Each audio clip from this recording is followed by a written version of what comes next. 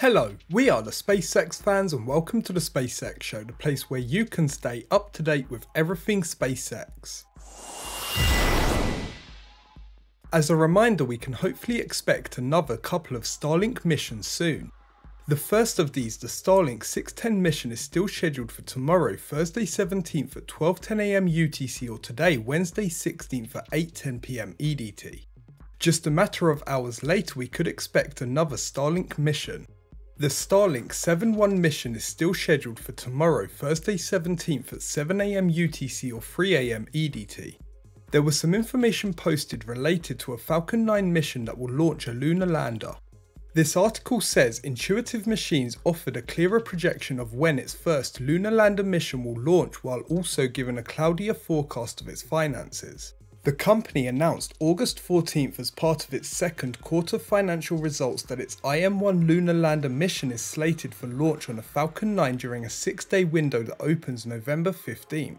A backup launch window is available in December. There was an interesting infographic posted by Eric Berger.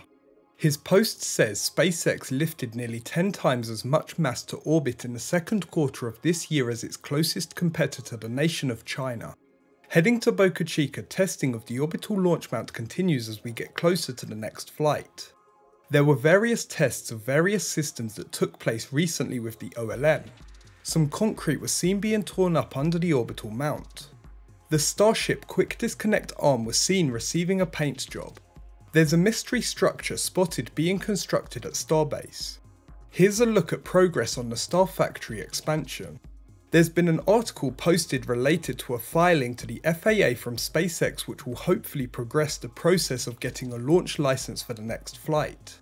It says SpaceX has filed a final mishap investigation report to the FAA for its April 20th Starship integrated flight test, the FAA told Payload on Tuesday. Submitting the report is an important regulatory step towards SpaceX launching Starship on its second orbital test flight, a milestone that will require sign off from the FAA.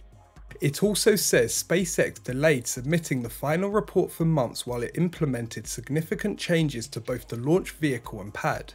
Here's a look at the hot staging test article that recently underwent some testing. The interesting Ship 22 nose cone we saw last video was recently rolled out. Ship 29 was seen briefly moved outside into the yard. As always, I have to say thanks to both Jack Beyer and Mary, otherwise known as Boca Chica Gal, for being out there filming the Starbase content. Also, thanks to the NASA spaceflight team working behind the scenes on their videos, live streams, and other space content. That's it for this episode of the SpaceX Show. I hope you enjoyed the video. If you did, make sure to hit the like button and leave a comment down below.